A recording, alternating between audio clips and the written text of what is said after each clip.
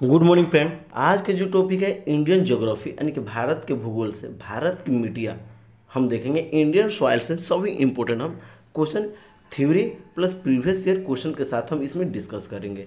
ठीक है? इसमें क्या देखना है? इंडियन सॉइल भारत की मीडिया के बारे में हम सभी थ्योरी के साथ प्रीवियस ईयर क्वेश्चन हम करेंगे, जो कि आने वाले SSC BSSC bank police and railway others exam सभी के लिए बहुत ही यूजफुल वीडियो होने वाले हैं। जलोड़ मिट्टी के बारे में देखेंगे, काली मिट्टी, लाल मिट्टी लेटराइट मिट्टी, पर्वतीय मिट्टी, दलदली मिट्टी अम्रस्थलीय मिट्टी, ये जितने मिट्टी है, पहले इसका हम थ्योरी देखेंगे। बाद में उसका क्वेश्चन प्रीवियस ईयर क्वेश्चन के साथ हम यहाँ पर डिस्कस करेंगे। चलते बिना देरी के स्टार्ट करते हैं आज का टॉपिक चलिए तो यहाँ पे स्टार्ट करते हैं। और उससे फिर पहले फ्रेंड अगर वीडियो अच्छी लगी तो प्लीज़ एक लाइक एक सब्सक्राइब ज़रूर करें। फ्रेंड एक मौका ज़रूर दें फ्रेंड चलिए तो स्टार्ट करते हैं। आज का टॉपिक से जलोढ़ मिट्टी देख, करते हैं। जलोढ़ मिट्टी हम देखते हैं एलिबल फ्रेंड सॉइल फ्रेंड अगर वीडियो अच्छी लगी तो प्लीज़ एक लाइक एक सब्सक्राइब ज़रूर करें फ्रेंड स्टार्ट करते हैं जलोढ़ मिट्टी एलिबल सॉइल से। तो ये खाद से भरपूर और बहुत उपजाऊ मिट्टी होती है। कौन सी मिट्टी? जलोर मिट्टी। ध्यान रखेंगे। ये उत्तरी मैदानों, नर्मदा तापी के निचली घाटियों और उत्तरी गुजरात में पाई जाती है। इसका हर साल नवीकरणीय होता है। किसका? जलोर मिट्टी का हर साल क्या होता है? नवीकरणीय होते हैं। ध्यान रखेंगे। आगे देखते हैं इसमें। चावल, गेहूँ, गन्ना, जूट का तेल, बीज और दालें इस मिट्टी पर उगने वाली मुख्य फ़सलें होती हैं। तो ये जलोर मिट्टी का इसका हुआ। अब देखते हैं काली मिट्टी के बारे में। के बारे में हम यहाँ पर देखते हैं। तो ये मिट्टी जलवायु चट्टानों और लावा के प्रवाह से बनती है। काली मिट्टी कैसे बनती है? जलवायु चट्टानों और लावा के प्रवाह से ये मिट्टी बनती है। कौन? ब्लैक सॉइल बनती है। देखते हैं इसमें। ये ढक्कन के लावा मार्ग पर एकत्रित होती है, जिसमें महाराष्ट्र, छत्तीसगढ़, मध्य प्रदेश, गुजरात, आंध्र प्रदेश और तमिलनाडु के कुछ हिस्से में शामिल है।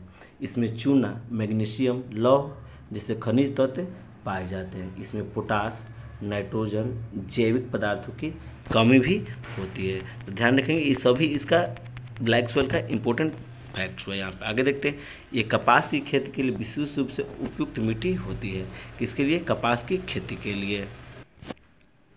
देखते हैं इसमें अगला कह दिया, इस कपास की खेती के लिए विशेष रूप से उपयुक्त मिट्टी हो इसलिए इसे कभी कभी काले कपास की मिट्टी भी कहा जाता है। इसमें गन्ना गेहूँ, मूंगफली भी क्या होती है?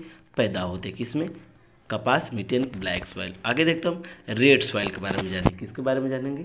रेड सॉइल लाल सॉइल के बारे, लाल मिट्टी के बारे में हम यहाँ पे जानते हैं। यह मिट्टी ढक्कन का पठार प्राचीन मेटफार्म चट्टानों के अपेक्ष से बनती है। इस मिट्टी का ललिमा इसे मौजूद लौह तत्वों की मात्रा के कारण होती है। जब यह मात्रा कम होती है तो इसका रंग पीले रंग से भरपूर रंग का हो जाता है। यह मिट्टी लगभग पूरे तमिलनाडु, आंध्र प्रदेश, छत्तीसगढ़, कर्नाटक, महाराष्ट्र, उड़ीसा के कुछ हिस्सों में क्या होती है, पाई जाती है। कौन मिट्टी? रेड मिट्टी का बात हो रहा है यहाँ पे। ठीक है फ्रेंड ध्यान रखेंगे। आगे देखते हैं, लेटराइट मिट्टी देखते हैं। क्या लेटराइट मिट्टी के बारे में हम यहाँ पे जानकारी करते हैं। लेटराइट मिट्टी, लेटराइट चट्टानों से फुटकर बनी होती है, जो कि चौरस, ऊँची भूमियों पर मिलती है। इस मिट्टी में एल्युमिनियम, लोहा चूना अधिक मिलता है। वहीं वहीं गहरी गहरी लेटराइट मिट्टी में पोटास, आयरन ऑक्साइड की मात्रा अधिक होती है। भारत में यह तमिलनाडु, केरल, कर्नाटक, महाराष्ट्र, पश्चिम बंगाल में मिल जाती है। आगे देख पीट मिट्टी के बारे में देखिए, इसके पीट मिट्टी। पीट मिट्टी की जैविक मिट्टी भी कहा जाता है, जो कि दलदली मिट्टी होती है। यह मिट्टी आपके उत्तराखंड, पश्चिम बंगाल, केरल में देखने को मिल जाएगा। इस मिट्टी में फास्फोरस और पोटास की मात्रा अधिक नहीं होती। किस मिट्टी में? पीट मिट्टी में एक्स्ट्रा ज़्यादा नहीं होती। आगे देखते हैं यहाँ पे। अब यहाँ से कुछ प्रीवियस क्वेश्चन के साथ हम कुछ ए, जो भी क्वेश्चन करेंगे जो कि आपका हर एग्ज़ाम के लिए बहुत ही यूजफुल वीडियो होने वाली है। यहाँ पे क्वेश्चन देखते हैं भारतीय कृषि अनुसंधान परिषद के अनुसार भारत में कितने प्रकार की मिट्टियाँ पाई जाती है? तो भारत में टोटल आठ प्रकार की मिट्टियाँ पाई जाती है। ध्यान रखेंगे कितने प्रकार के? आठ प्रकार की मिट्टियाँ भारत में पाई जाती है। अगला क्वेश्चन देखते हैं क्वेश्चन नंबर टू देखते हैं। किस मिट्टी में कृषि के लिए सिंचाई की आवश्यकता नहीं होती है? तो काली मिट्टी में कृषि के लिए सिंचाई की आवश्यकता नहीं होती किस मिट्टी में? काली मिट्टी में। ध्यान रखेंगे। नेक्स्ट क्वेश्चन देखते हैं क्वेश्चन नंबर थर्ड देखते हैं। महाराष्ट्र में सर्वाधिक मात्रा में पाए जाने वाला उपलब्ध मृदा का प्रकार कैसा है? तो ये काली मिट्टी है। किसमें? महाराष्ट्र में सर्वाधिक मात्रा में। कौन मिट्टी है? काली मिट्टी। अगला देखते हैं क्वेश्चन नंबर फोर। क्षेत्रीय विस्तार और कृषि के में महत्व की दृष्टि से भारत की मिट्टियों कितने वर्ग में बांटा गया है? तो चार वर्ग में बांटा गया है। ध्यान कब चार वर्ग में बांटा गया है। अगला देखते हैं क्वेश्चन नंबर फाइव। गंगा की जलोर मृदा की गहराई भूमि की सतह से लगभग छः हज़ार मीटर तक होती है। गंगा की जलोढ़ की मृदा की गहराई भूमि से लगभग छः हज़ार मीटर तक होती है। कितने? छः हज़ार मीटर तक। अगला क्वेश्चन देखते क्वेश्चन नंबर सिक्स गंगा के मैदानों की पुरानी कछाड़ी जलोढ़ मिट्टी कहलाती है, क्या कहलाती है? बांगर कहलाती है। क्या कहलाती है? बांगर कहलाती है। ध्यान रखेंगे, ये भी बहुत ही इंपॉर्टेंट क्वेश्चन है। अगला क्वेश्चन देखते हैं। क्वेश्चन नंबर सेवन गंगा घाटी में बांगर मिट्टी पाई जाती है। कहाँ पाई जाती है? बाढ़ के वर्तमान सीमाओं से ऊपर गंगा घाटी में बांगर मिट्टी पाई जाती है। कहाँ, बाढ़ की वर्तमान सीमाओं से ऊपर पाई जाती है।